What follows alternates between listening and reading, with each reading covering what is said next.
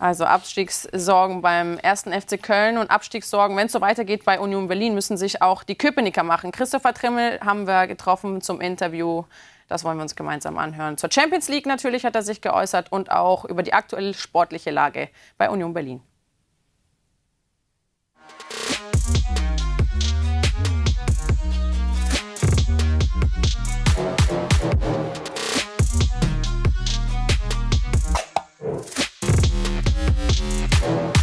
Christopher, vielen Dank, dass du dir die Zeit genommen hast. Ich freue mich sehr auf unser Gespräch. Jetzt ist es ja aktuell so, dass ihr einerseits die erfolgreichste Vereinsgeschichte erlebt, andererseits aber aufgrund der letzten Niederlagenserie die am wenigsten erfolgreiche Zeit in der Union-Geschichte. Ist es so, dass du aktuell auch aufgrund der Champions League den schönsten Union-Traum lebst oder ist es schon der schlimmste Union-Albtraum? Nee, es ist schon noch schön, Fußball zu spielen bei Union. Ähm, ich glaube, ähm, speziell das Ding mit der Champions League, ich glaube, wir haben im Kader vielleicht eine Handvoll Spieler, die schon mal Champions League gespielt haben. Ähm, das ist der Traum von jedem Fußballer, deswegen, ähm, der lebt ja noch immer, bis mindestens Winter. Und natürlich ist es jetzt eine schlechte Phase von uns, mhm. aber ähm, auch das ist für mich jetzt keine Überraschung. Ich glaube, fünf Jahre, es ging immer nur bergauf. Irgendwann ähm, kommt so eine Phase und ähm, wir wissen alle, irgendwann werden wir da rauskommen, hoffentlich. Ähm, wir sind noch ruhig intern und arbeiten daran einfach. Du sagst es ja gerade, wenn man die letzten fünf Jahre von Union Berlin betrachtet, ist es eine phänomenale Erfolgsgeschichte. Hättest du dir jemals erträumt, dass du eines Tages im Union-Trikot in der Champions League aufläufst? Na, natürlich nicht. Also das ist zwar ein Traum, aber man denkt nicht daran, weil am Ende war das große Ziel der Aufstieg, dann hast du es geschafft, dann geht es eigentlich nur mehr um den Klassenerhalt. Und ähm, du wirst ja auch medial so behandelt. Ja, wenn die, jetzt haben sie den Klassenerhalt geschafft, nächstes Jahr ist, sind sie dran, dann steigen sie ab. Dann kommst du in die Conference League, dann, okay, jetzt haben sie die Doppelbelastung, jetzt steigen sie ab. Und es ging halt immer so weiter. Und wir haben halt äh, ja, uns entwickelt, ähm, haben an unseren Schwächen gut gearbeitet und ähm, ja, dass es jetzt so gekommen ist, wie es gekommen ist, ähm, ist, glaube ich, einzigartig im Fußball und das ähm, kann man ja fast gar nicht erklären. Man profitiert von vielen Dingen, nicht nur jetzt von unseren Stärken, sondern auch von Schwächephasen anderer Mannschaften. Also äh, wir sind nicht so arrogant und sagen, ähm, wir gehören ganz klar da oben hin, sondern da waren halt schon Mannschaften dabei, die einfach eine schlimme, schlechte Phase durchgemacht haben und äh, so wie wir aktuell vielleicht mal sechs, sieben Spiele nicht gewonnen haben. Jetzt bestreitet ihr eure Champions League-Spiele nicht hier, wo wir sitzen, an der Alten Försterei, sondern ausgerechnet bei der Konkurrenz in Berlin, die aktuell in der zweiten Liga eigentlich spielen, im Olympiastadion. Was macht das für euch für einen Unterschied? Schon einen großen. Ja. Also ich bin ehrlich, ähm, also für mich persönlich, weil ähm, Alte Försterei ist äh, unser Zuhause, unser Wohnzimmer. Ähm, ich glaube, da hast du auch den Faktor, dass sich der Gegner nicht wohlfühlt. Das kommt noch dazu. Olympiastadion, klar hatten wir die Conference League schon da, wir haben auch da ein Derby gewonnen, aber es ist nicht unser Stadion und es ist nicht nur für uns eine Herausforderung, auch für die Fanszene. Man am Ende, die Fanszene hat da 20.000 äh, Fans im Griff und supportet die oder leitet die sogar an.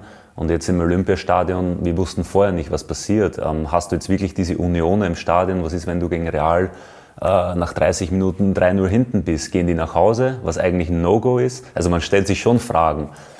Am Ende ähm, ja, haben wir es so angenommen, wie es ist und ähm, wir können es eh nicht ändern.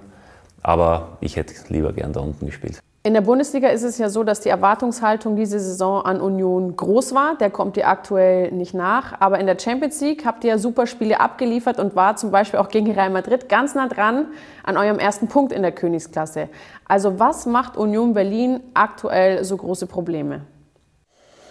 Ich glaube, dass speziell die letzten Jahre war unsere größte Stärke die Kompaktheit, das Verteidigen, unangenehm sein, ähm, auch clever sein, nicht den Gegner einfach laufen lassen, auch mal taktische Fouls ziehen, eklig sein. Das sind jetzt so kleine, unangenehme ähm, Punkte, die uns ausgemacht haben. Sprich, unterm Strich wenig zugelassen und aus unseren wenigen Konterchancen, Standards effektiv Tore erzielen. Jetzt aktuell ist es oft so, wir haben mega viel Torchancen, lassen aber auch sehr viel zu, also mehr als die letzten Jahre. Und dieser ich sage jetzt mal, diese, diese Harmonie, das, das stimmt einfach aktuell nicht. Also wir sind teilweise zu offen. Ähm, nach vorne hin alles gut, man freut sich, wenn man viele Torchancen hat, aber Ähm, wir sind nicht die Mannschaft, die dann Spiele 5-4 gewinnt, sondern wir waren eigentlich immer eine Mannschaft, die 1-0, 2-1 ähm, die Spiele gewinnt und da müssen wir dran arbeiten. Kann man sich als Unioner, vor allem auch als einer, der alles miterlebt hat, so wie du, ein Union Berlin ohne Urs Fischer überhaupt vorstellen? Nee, also aktuell nicht. Also ich glaube, man, man, man, man, sieht und merkt sie natürlich, wenn er einen Platz betritt äh, oder vorgestellt wird, ähm, ist immer am lautesten. Mega Standing. Ich meine, er ist der Trainer, der den Verein in die Bundesliga gebracht hat, in die Conference in Europa. Also er ist und der, du ja ein Spieler davon. Natürlich, aber er ist, er ist schon der Chef und der Kopf mit, mit Olli Runer. Das muss man schon auch äh, ähm, sagen. Das ist nicht äh, selbstverständlich. Ähm, von dem her ähm, ja, also der hat sich das absolut verdient, ähm, den Applaus und, und, und, die, die Anerkennung. Und ähm, ich glaube, äh, ja, da wünscht man sich natürlich schon, dass man dann wieder schnell in die Spur findet, damit sich alles wieder beruhigt, auch für ihn. Jetzt gibt es drei neue Spieler, die ein gewisses Starpotenzial mitbringen. Ist es dann auch so, dass diese Spieler das auch einfordern und dadurch das Mannschaftsgefüge durcheinander bringen, sowohl auf dem Platz als auch in der Kabine? Nee, gar nicht. Und das hat mich ja am meisten überrascht, auch von, von allen drei. Also ähm, Leo, ähm, mega bodenständig, äh, quatscht auch mit den jungen Spielern, ähm, ja, ist ein sehr positiver Typ. Ähm, natürlich hat er eine Ausstrahlung, ähm, das wünscht man sich ja auch. Ähm, das löst ja auch beim Gegner was aus. Aber alle drei sind, sind, sind ganz bodenständig und lassen jetzt überhaupt nichts äh, raushängen. die helfen uns, Sie versuchen uns zu helfen, aber ich habe es auch betont, ich meine, am Ende ist das auch für Leo als Beispiel die erste Auslandsstation und äh, seine Family ist in Italien, er ist alleine da. Auch nicht so einfach und du kannst jetzt auch nicht von ihm erwarten, dass er alleine jetzt das Ruder umreißt, sondern da bin ich schon so ehrlich, da sind schon eher die Spieler, die schon länger da sind, ähm, gefordert und da nehme ich mich genauso in die Pflicht. Leo hat mir im Vorfeld des Gesprächs, ich habe ihn gerade hier im Aufzug getroffen, erzählt, dass er nach seiner aktiven Karriere gerne Trainer sein möchte. Vielleicht kann er das ja schon gegen Napoli zum Vorschein bringen.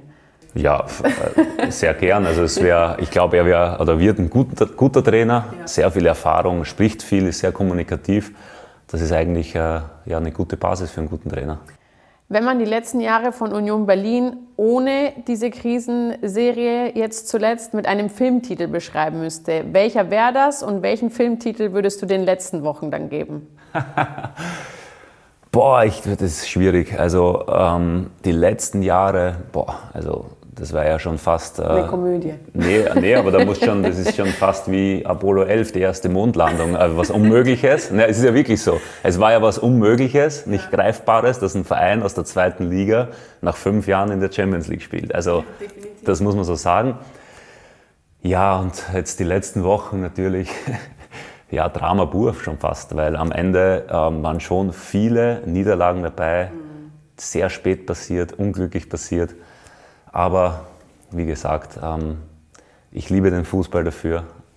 Ähm, am Ende äh, geht es darum, Punkte zu holen. Und wir sind jetzt irgendwann mal an der Stelle, jetzt brauchen wir Punkte. Soweit also Christopher Trimmel zur aktuellen Lage bei Union Berlin. Marc, was wird's, ein Horrorfilm oder doch äh, ein Film mit Happy End bei Union Berlin? Also im Moment habe ich bei Union Berlin kein so gutes Gefühl. Sie haben auch im vergangenen Jahr äh, äh, nicht so erfolgreich gespielt, weil sie so tollen Fußball gespielt mhm. haben, sondern weil die anderen eher nicht gut genug waren, um das äh, Spiel von Union zu dekodieren und äh, die dann zu schlagen. Und es scheint so ein bisschen äh, so zu sein, dass sie jetzt entschlüsselt sind und dementsprechend haben die Gegner es leichter, äh, Union zu schlagen. Aber es ist doch seltsam. Sie haben zwei 4 zu 1 Siege zum Saisonstart gehabt. Und dann bricht es ab. Das ist wie ein Strömungsabriss und beim Flugzeug. Rein zahlentechnisch, also wenn man sich die Statistiken anschaut, sind sie eigentlich in allen Bereichen besser als letzte Saison, aber sie kriegen es einfach nicht hin mit den Resultaten. Also auch in der Champions League gegen Real Madrid haben sie Last Minute das Gegentor kassiert. Gegen Braga, glaube ich, war es, haben sie auch Last Minute ja. dann noch verloren. Also war sehr unglücklich in der Champions League ja. zweimal, in der Bundesliga ziemlich klar. Gestern 0-3, das ist eine Vorführung. Ähm, ja. Aber Urs Fischer, hier sehen wir sein Gesicht. Union Berlin ohne ihn kann man sich auch nicht vorstellen. Man kann sich im Fußball alles vorstellen, glaube ich. Äh, natürlich wird Union zu ihm halten und äh, es, äh, ich bin mir aber nicht so ganz sicher, ob äh, Union wie Freiburg reagiert, so nach dem Motto, wir, wir steigen auch mit Streich ab, äh, was die Freiburger ja mal mhm. getan haben. Da bin ich bei, bei Union nicht so ganz sicher, dass sie sagen, wir steigen auch ab. Sie haben noch große Pläne, sie bauen das Stadion aus. Also Union fühlt sich schon als Bundesligist mittlerweile. Ja,